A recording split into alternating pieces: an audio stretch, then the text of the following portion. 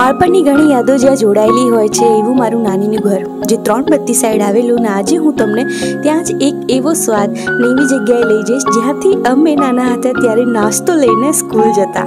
ચાલો મળાવીએ. Hello hi નમસ્કાર. Welcome to સોર વિથ ને આજે હું આવી ગઈ છું ત્રણ બટ્ટી એરિયામાં જ્યાં હું નાની હતી ત્યારથી અહીંયાથી બુંદી લઉં છું, બટ આ દુકાન પણ એટલા જ વર્ષો જૂની છે અને અહીંયા પહેલાં તો બે બે રૂપિયામાં અમે લોકો નાસ્તો લઈને સ્કૂલ જતા. આજે હમણાં અહીંયા શું શું મળે છે આજે હું તમને જણાવવાની છું. કેટલા વર્ષ જૂની છે એ પણ આજે હું તમને જણાવવાની છું. તો આજે હું પાલનપુરનો એક બીજો સ્વાદ તમારી તરફ લાવવાનો પ્રયાસ કરી રહી છું. ચાલો, જોઈએ. આ દુકાનને લગભગ સિત્તેર વર્ષ જેટલા થઈ ગયા છે. અને આ રસ્તો એવો છે જ્યાંથી મોટાભાગની રિક્ષાઓ અને બાળકો સ્કૂલે જતા હોય. એટલે સ્કૂલ જવાનો આ એક રસ્તો હતો. તો ઘણા બાળકોની બચપનની યાદો પણ આ જગ્યા સાથે શ્યોર જોડાયેલી હશે.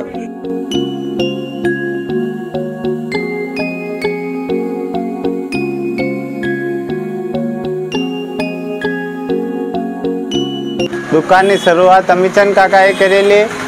પછી દેવચંદ કાકાએ સંભાળી, હવે હું સંભાળું છું.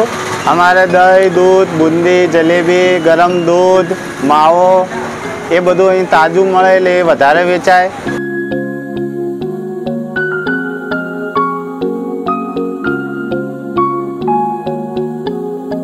અને પહેલાં તો બધું બબે રૂપિયાનું મળતું. અત્યારે મોંઘવારી પ્રમાણે એ પ્રમાણેનો ભાવ છે. અત્યારે માવો, પેડા, ગાજરનો હલવો, બુંદી, જલેબી, ખમણ, પાતરા, શક્કરપારા, ચવાણું, પાપડી, બધું જ ફરસાણ, મીઠાઈ બધું જ મળે અહીંયા. આ જાડો કેવડો એ પ્રખ્યાત છે આપણો અહીંનો.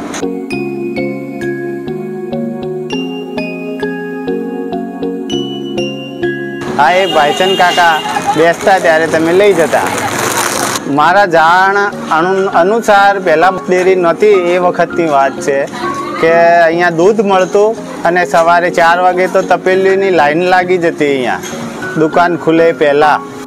અને બુંદી પણ પહેલેથી જ અહીંની પ્રખ્યાત છે એટલે લોકો બુંદી બહુ લે છે. હમણાં પણ નાસ્તો મતલબ સ્કૂલ માટે નાસ્તો અહીંયા પેક થાય છે. ખમણ દેખો.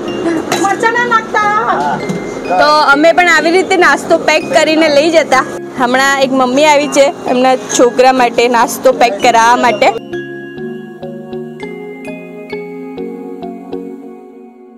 સો આ છે આપણું ત્રણ બત્તી. ત્રણ બત્તી એરિયા અને આ છે મીરા ગેટ અને અહીંયા છે જે શોપ આજે આપણે તમારી સમક્ષ લાવી રહ્યા છીએ. જે સ્વાદ તમારી સમક્ષ આજે લાવી રહી છું, એ આ શોપ છે.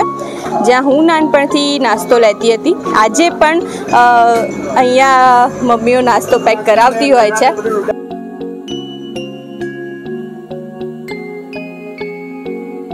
ઘણીવાર એવું થતું હોય છે કે જગ્યાઓ બદલાઈ જાય છે, રૂપરંગ બદલાઈ જાય છે, પણ અમુક સ્વાદ હંમેશા એવાના એવા રહે છે અને કદાચ એ સ્વાદ એવા રહે છે એટલે આપણું બાળપણ પણ સચવાયેલું રહે છે ક્યાંક ને ક્યાંક. તો આ સ્વાદ મારા બાળપણ સાથે જોડાયેલો છે. વિક્રાંત છે, જે પણ નાસ્તો પેક કરાવવા આવ્યો છે સ્કૂલ જવા ટાઈમે. તો દેખો, એ પણ નાસ્તો હવે પેક થાય છે એનો.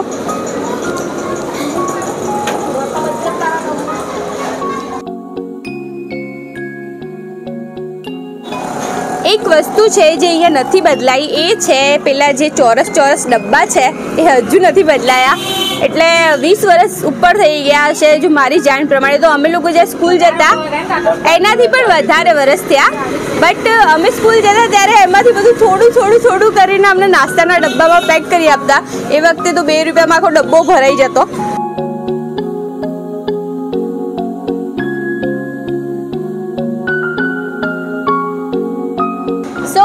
આજે મેં તમને મારા બાળપણનો સ્વાદ બતાવ્યો. જ્યાં ત્રણ બત્તીથી અમે લોકો સ્કૂલ જતા, ત્યાંથી અમે બે બે રૂપિયામાં નાસ્તો લઈ જતા. એ જગ્યા મેં તમને બતાડી છે.